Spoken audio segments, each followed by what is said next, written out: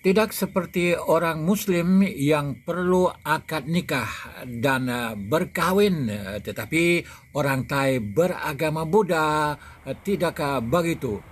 Mencukupi dengan menjadi boyfriend dan girlfriend sudah boleh dibawa ke rumah ahli keluarga tanpa sebarang masalah pada kebiasaannya. Ini menjadi antara beberapa kemudahan ya, yang membolehkan orang Thai menuju ke alam perkahwinan eh, dengan mudah. Jika hubungan boyfriend dan girlfriend mampu diteruskan dan boleh diangkat taraf menjadi suami istri yang berdaftar secara sah dari segi undang-undang.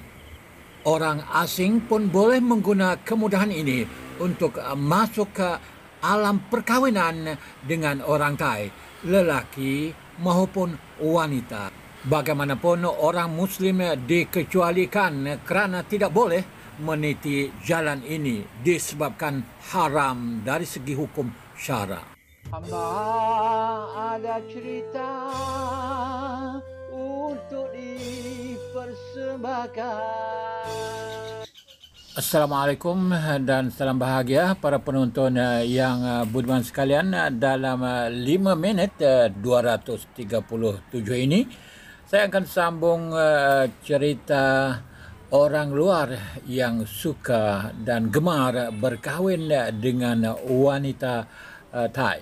Dan uh, pada kali ini saya akan tumpu kepada mereka yang berkahwin dengan orang Thai uh, untuk uh, mencari kepuasan seks saja untuk bermain-main saja macam uh, orang Syiah berkahwin uh, mutaah sahaja. Uh, dan ini uh, mencakupi orang Muslim dan secara khusus uh, orang yang saya kenal uh, mereka di kalangan uh, orang Melayu di sini. Tapi sudah tentu saya tidak akan uh, menyebut nama mereka dan di mana mereka tinggal ketika saya menerima tawaran untuk berkhidmat sebagai wakil utusan di Kaherah pada tahun 1988 saya balik ke kampung. Dan saya melihat uh, seorang wanita uh, bukan penduduk kampung berusia tengah tubuh boleh bercakap Melayu logat petani tetapi dengan saya dia bercakap Thai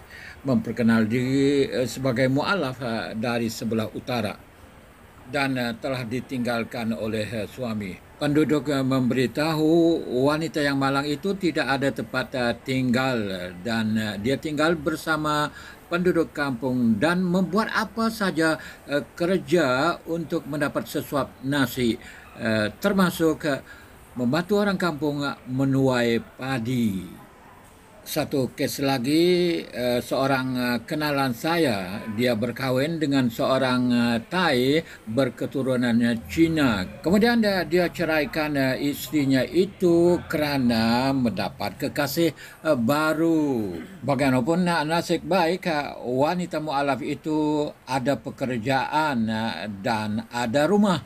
Dia tinggal bersama anak-anaknya dan masih menjadi muslimah sehingga ke hari ini. Dua bulan lepas eh, saya mewawancara seorang wanita mualaf eh, dari Isan atau kawasan eh, timur laut Thailand di Sungai Golok. Dia berkahwin dengan lelaki Melayu dari Sungai Golok dan mengikut suaminya untuk tinggal di Sungai Golok. Dia yang berniaga tinggal bersama anak-anaknya. Ini yang berkahwin dan ditinggalkan suami. Sedangkan yang ada hubungan dengan wanita Thai beragama Buddha dan berjanji akan berkahwin dan mendiri rumah tangga. Tetapi tidak dilakukan adalah banyak sekali dan saya tidak perlu mencerita dan mendedah keaiban ini secara terang-terang dan terperinci. Sambungan 5 minit 238 esok saya akan memaparkan pula cerita orang Syiah berkahwin muta'ah di Thailand. Terima kasih kamu menonton dan kita berjumpa lagi di bahagian akan datang. Sekian Wassalam.